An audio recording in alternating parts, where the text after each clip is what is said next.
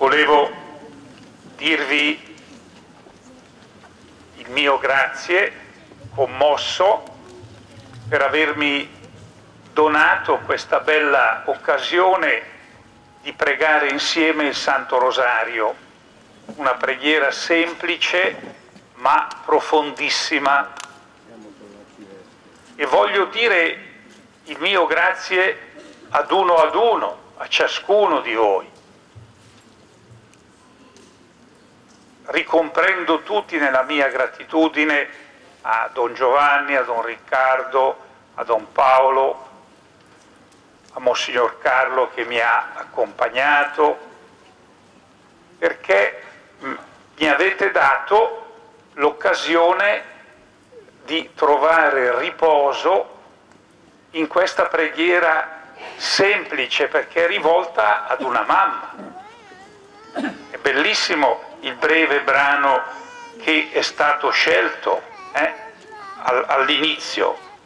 Descrive la situazione degli apostoli provati dopo la tragedia della croce che impauriti, spaventati per quello che era successo a Gesù, ritornano nella sala dove, nella casa dove abitavano insieme a Maria. E il libro degli Atti degli Apostoli sottolinea questo fatto, che in compagnia di Maria riescono a passare quel tempo di fatica, di angoscia che sarà poi dissipata, tolta, cioè strappata via dalla risurrezione gloriosa di Gesù. Mi ha molto colpito pensare che questa immagine della Madonna protegge da tanti anni questo, questa corte, protegge da tanti anni le vostre case, la realtà di queste parrocchie, di questa zona, di questo decanato di San Siro. Dopo tanti anni, dopo 70 anni, noi siamo ancora qui riuniti intorno alla nostra mamma perché sentiamo che lì, lì c'è per noi conforto. Conforto. Abbiamo meditato recitando le Ave Marie i misteri del dolore e noi ce li ricordiamo tutti bene, io credo, eh? l'agonia di Gesù nel Getsemani, la flagellazione di Gesù, l'incoronazione di spine, la salita al Calvario, la passione finale, la morte, la risurrezione e la deposizione nella tomba di Gesù.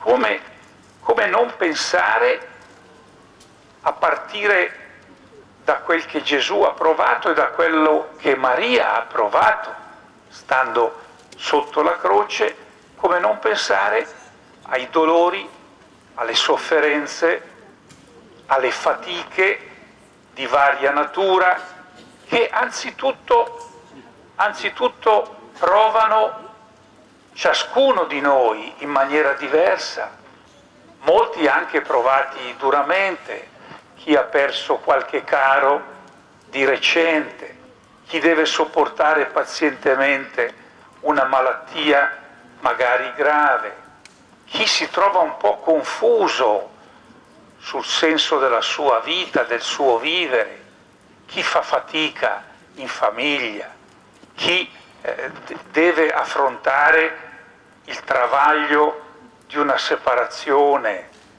chi deve accettare la mancanza di fedeltà del marito o della moglie, ma possiamo andare avanti a lungo a descrivere tutte queste prove che possono toccare gli uomini e le donne, talora anche i nostri ragazzi piccoli. E però, però a questo si aggiunge, si aggiunge la prova sociale, la fatica della famiglia, che non ha lavoro, che deve portare una malattia, che vive in situazioni di casa un pochino e talora troppo, troppo inaccettabile per la decadenza della casa stessa. E poi noi dobbiamo accettare anche i grandi cambiamenti che sono in atto nel nostro tempo.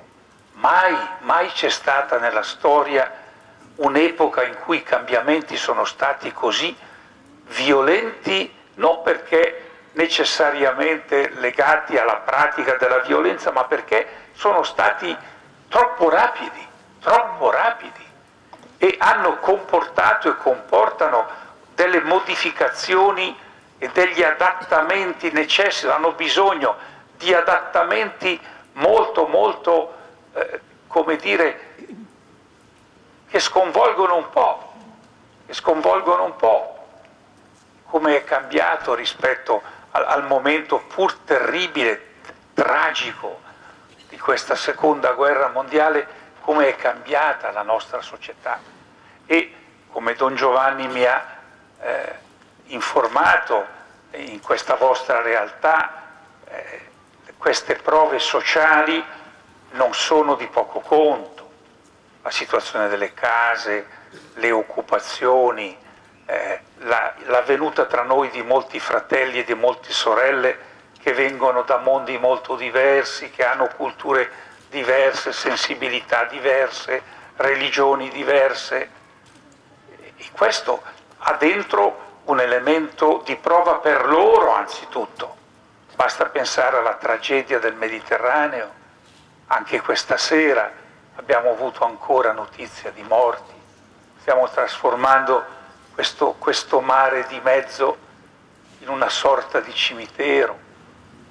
E poi come non, pensia, non pensare a, a quanti faticano non solo ad arrivare alla fine del mese, come non dimenticare che in questo nostro mondo, come adesso in occasione dell'Expo siamo stati costretti a riflettere, più di 800 milioni di persone non ha il minimo quotidiano per vivere sono cose terribili e non è vero che non si può vincere la fame, ci sono tutti i mezzi per poterla vincere, non c'è la volontà politica di vincerla. Eh? Quindi a, a, alle prove personali che ci pesano sul cuore si aggiungono queste grandi prove, prove sociali. E voglio anche accennare al fatto che talune di queste prove toccano anche la nostra Santa Madre Chiesa, anche nelle nostre comunità talora non ci capiamo, fatichiamo, ci impuntiamo su dei particolari, basta un'inezia per non eh, mantenere un rapporto di fraternità, facciamo fatica a chiedere scusa, facciamo fa fatica a concedere il perdono, a riaprire il rapporto con molti, così come fa Dio tutte le mattine con noi, che tutte le mattine ci riapre, riapre a 360 gradi nostre, sui nostri peccati, sulle nostre piccolezze, sulle nostre miserie.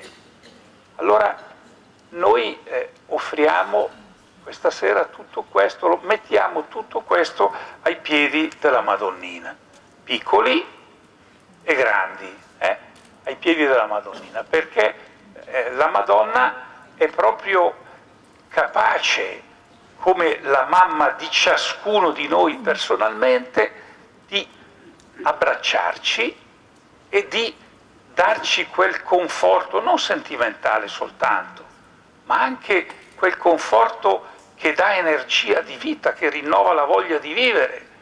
Perché? Perché ci ridà Gesù. Madonna ci riporta Gesù e noi la preghiamo ardentemente come abbiamo fatto stasera, rendendo bella questa corte questa realtà, la preghiamo con fervore perché lei ci porta al nostro Redentore, al nostro Salvatore. Ecco, allora, pieni di gratitudine, adesso facciamo il canto finale al termine di questo Santo Rosario che ci impegniamo a ripetere magari una decina la sera anche nelle nostre famiglie in questo mese di maggio oltre che in parrocchia. Eh? se, se non possiamo andare in parrocchia per mille ragioni, eh, lo possiamo ripetere in casa anche solo una decina, sempre raccomandando alla Madonna tutta la famiglia umana, eh? a partire da quelli che ci sono più vicini, dai nostri compagni di scuola, dai nostri compagni di, di università, compagni di lavoro e soprattutto affidiamo alla Madonna quelli che hanno più bisogno, i bambini, quelli che sono senza lavoro, quelli che sono afflitti da tante prove, gli ammalati, gli anziani, quelli che sono nell'ombra della morte, i più poveri, gli immigrati, i più bisognosi, i carcerati, tutti quelli che le famiglie in sofferenza, famiglie ferite, i figli che faticano a trovare un cammino chiaro nella loro vita. Noi mettiamo tutto ai piedi della Vergine e diciamo a lei, chiediamo a lei, come abbiamo fatto in questo Santo Rosario, che ci porti nel suo cuore e ci abbracci con la sua misericordia, riportandoci sotto lo sguardo di Gesù, sotto lo sguardo di Gesù. Amen.